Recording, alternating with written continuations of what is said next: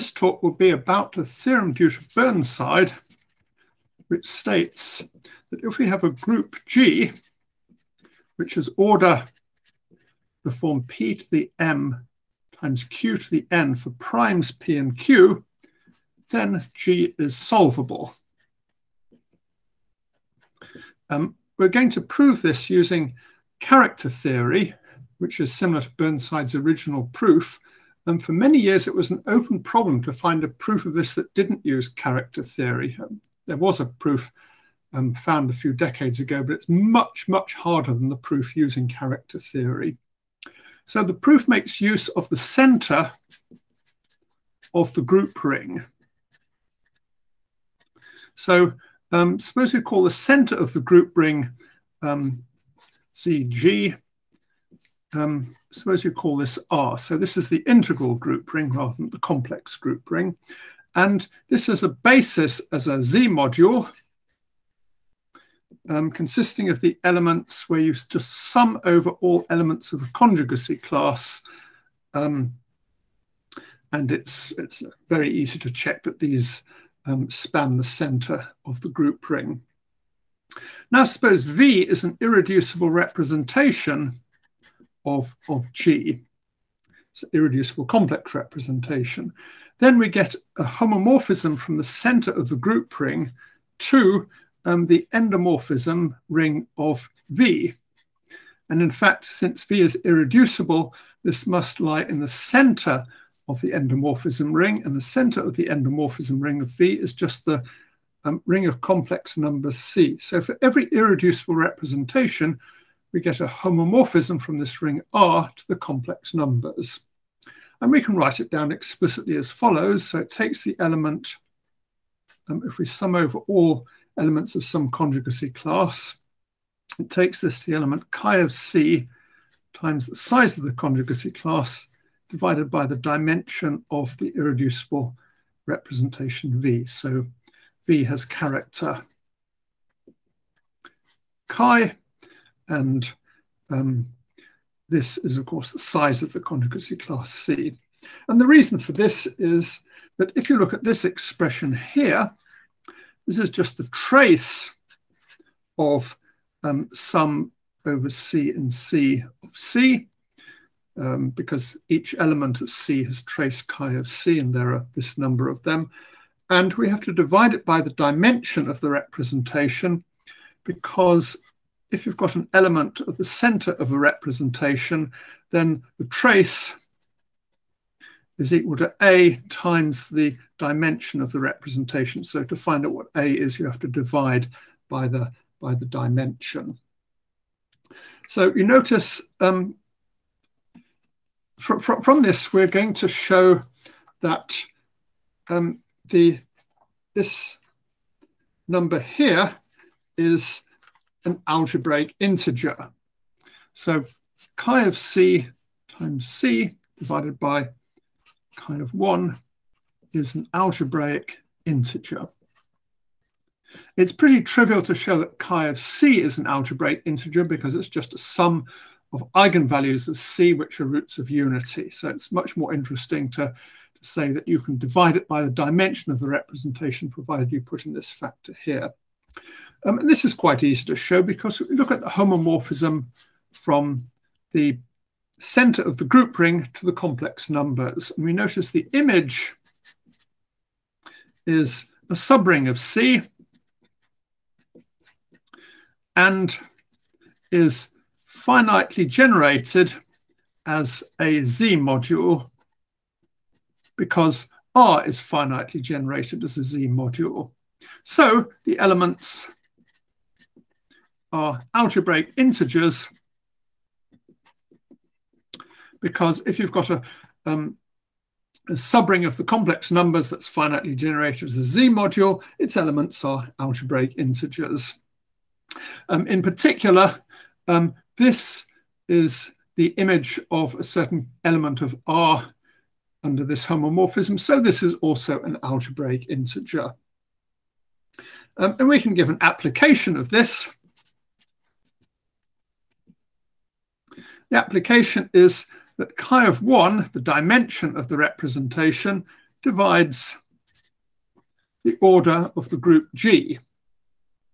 And you can see this because by the orthogonality relations for characters, we know that the order of G is just sum over all um, conjugacy classes, the size of the conjugacy class times chi of the conjugacy class times chi bar of an element of the conjugacy class. So this is just the, the, the saying that the norm of the character chi is equal to g. Now what we can do is we can just divide both sides by chi of 1. And we notice that this bit here is an algebraic integer because we just said so up there. And this bit here is also an algebraic integer because it's a sum of roots of unity. So this is an algebraic integer, and as this side is rational, this side must be an integer. So the dimension of any irreducible representation divides the order of the group G. Um, by the way, this only holds for complex representations. For example, if we take G to be the group of order 3, then it has an irreducible representation on um, two-dimensional real vector space because you can just rotate by a third of a revolution. And the dimension of this is 2, which certainly doesn't divide the order of G, which is 3. Um, so um, this also fails for algebraically closed fields of characteristic greater than zero. The dimension of an irreducible representation need not divide the order of a group. Um, so now we move on to Burnside's theorem. So suppose G is order P to the M, Q to the N. So we want to show that G is solvable. Well, by induction, um, it's enough to show that if G is simple,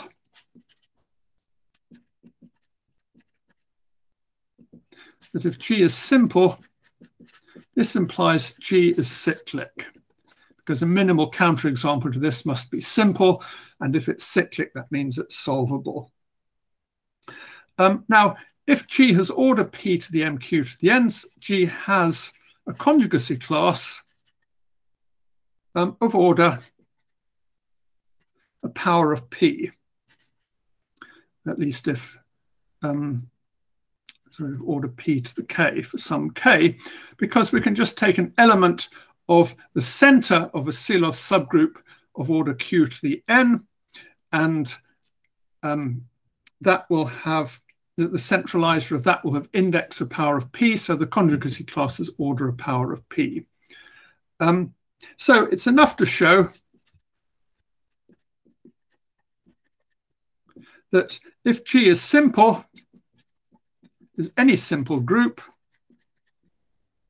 with a conjugacy class, with a non-trivial conjugacy class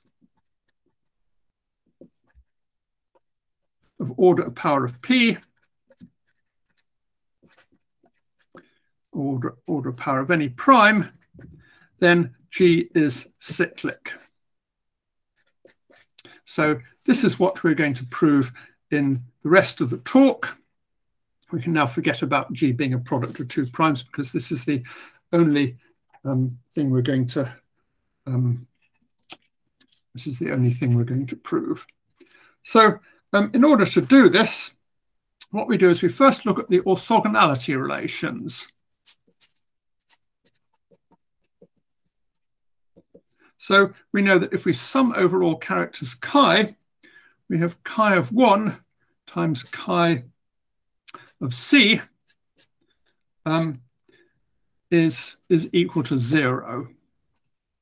So here we're taking C to be a non-trivial conjugacy class um, um, of order of power of, of a prime. Say, let's call this prime P. Um, well, one term in this is if we take the trivial character chi1 of 1, then um, chi1 of C is equal to 1, so this is equal to 1. So we can find some character chi not equal to the trivial character so that, first of all, chi of 1 is not divisible by p. And secondly, chi of c is not equal to 0 because if every character was at either dimension divisible by p or chi of c equals 0, then all terms in this other than the first term would be divisible by p, so their sum couldn't be equal to 0. And what we're going to do is just to use these two facts together with the fact that the size of the conjugacy class C is um, power of is a power of prime. And we're, we're just going to deduce from this that if G is simple, then it must be cyclic. And this, this is kind of rather remarkable because we don't really seem to have enough information to prove anything much about G. I mean, these two facts that chi of 1 not divisible by p and chi of c not being 0 both seem to be very weak pieces of information to use. So how do we do this? Well, um, First of all, we recall the number a, which is chi of c times the size of c divided by chi of 1 is an algebraic integer. Um, secondly, we notice that the order of c and chi of 1 are co-prime because this is a power of p and this is not divisible by p. Um, so what we want to show is that if we omit this factor c, then, then chi of c divided by chi of 1 is still an algebraic integer. And that's quite easy because since these two are co-prime, you know that m times chi of 1 plus n times the order of c is equal to 1 for some mn. And then if we take the number um, um, we, know that uh, chi of c times the order of c is equal to a times chi of 1, where a is this algebraic integer. And we can now just write chi of c is equal to chi of c times m chi of 1 plus n times the order of c, because that's just 1, which is equal to um, chi of c times m times chi of 1 plus n chi of c times the order of c. And um, we know this is divisible by chi of 1, and this is divisible by chi of 1 by what we set up there. So chi of c divided by chi of 1 is an algebraic integer. So that's where we use the fact that the conjugacy class has order power of p. We can take out this factor here. Um, and we also notice that this is not equal to zero because chi of c is not equal to zero.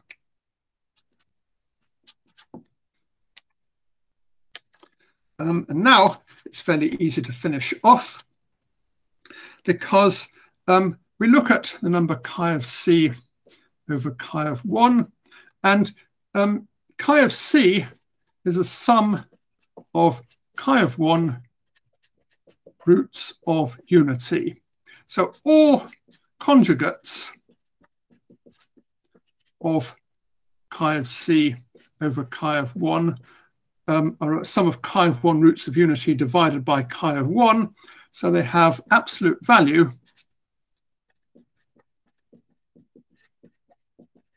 less than or equal to 1. And now we look at the norm of this algebraic number, which is the product of all conjugates. Well, the product of all conjugates of an algebraic integer is an integer, and it can't be zero because chi of c is non-zero, so is greater than or equal to 1.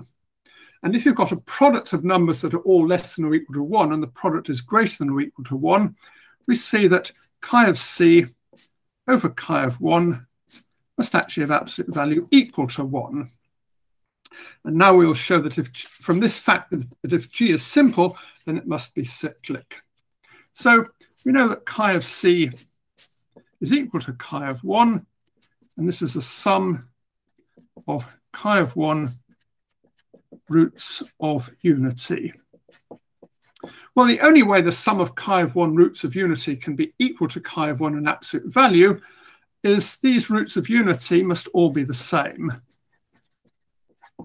So chi of c is just equal to chi of 1 times zeta for some um, root of unity. Um, and um, now, if G is simple, this implies the um,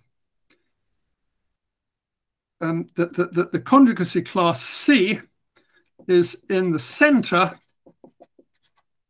of the image of G in the ring of endomorphisms of V.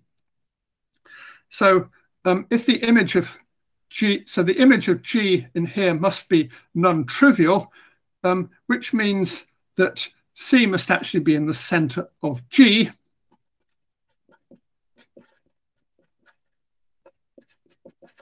Which, as G is simple, implies G is cyclic.